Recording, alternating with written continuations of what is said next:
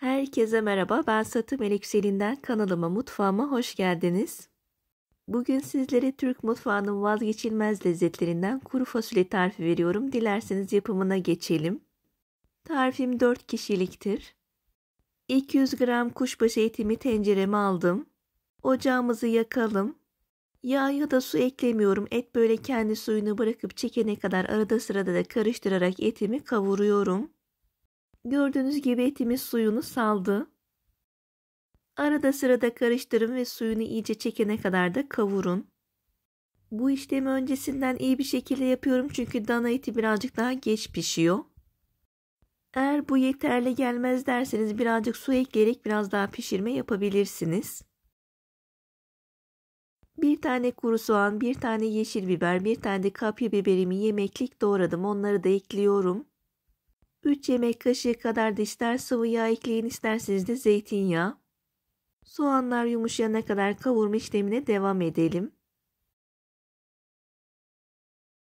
Karıştırdıktan sonra kapağını kapatalım. Arada sırada da kontrolünü yapalım. Sebzelerimiz yumuşayana kadar kavurma işlemine devam edelim.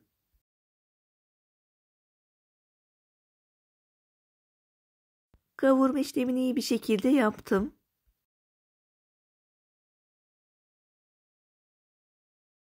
Bir tatlı kaşığı biber salçası, bir yemek kaşığı domates salçası, salçalarımızın çiğliği geçene kadar böyle kaşığımızın arka tarafıyla ezerek ortalama 30 saniye 1 dakika kadar kavuralım. Kuru fasulye yediğiniz zaman gaz sorununuz oluyorsa mutlaka baharat olarak kimyon da kullanın. Ben baharat olarak birazcık pul biber ekledim. Biraz da karabiber. Bunu damak tadınıza göre eklersiniz. 2,5 su bardağı da haşlamış olduğum kuru fasulyeyi ekliyorum. Kuru fasulyemi ben akşamdan ıslattım. Sabah da 1 saat kadar kaynattım. Kuru fasulyeyi ekledikten sonra böyle bir karıştırıyorum. Sonrasında da üzerine iki parmak geçecek kadar da su ilavesi yapıyorum. Sonrasında da özü çıkana kadar arada sırada da karıştırarak pişmesini sağlıyorum.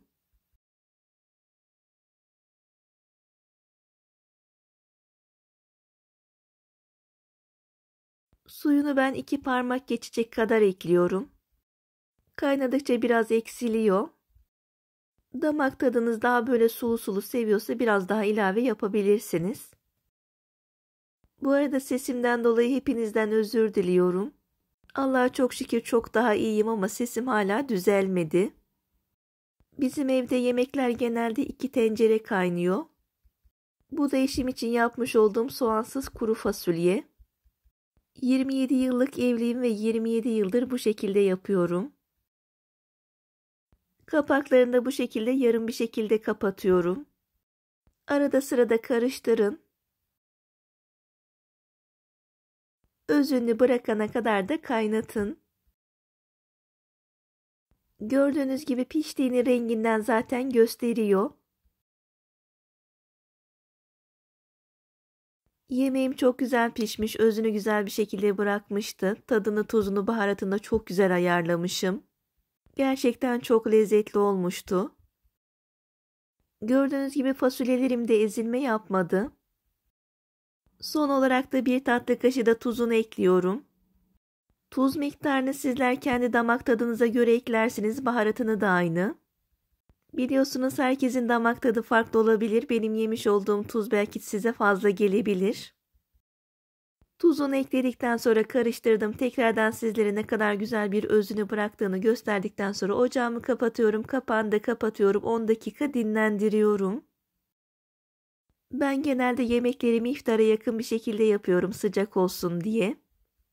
Kuru fasulyenin yanına olmazsa olmaz mutlaka pilav yapın. Toplam içine çıkmayacaksanız da isterseniz bir soğan kırın, isterseniz turşu çıkartın.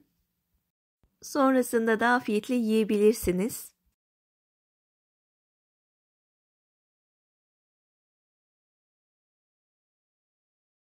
Bugün de tarifimin sonuna geldim. İzlediğiniz için teşekkür ederim. Bana destek olmak için kanalıma hala abone değilseniz abone olmayı unutmayın. Abone olduktan sonra bildirim zilini açalım ki yeni tariflerimden de haberiniz olsun. İzledikten sonra lütfen beğeni bırakalım. Kısa da olsa destek amaçlı yorum istiyorum. Allah nasip ederse yeni tariflerimde, yeni lezzetlerimde görüşmek üzere. Sağlıkla kalın, hoşça kalın.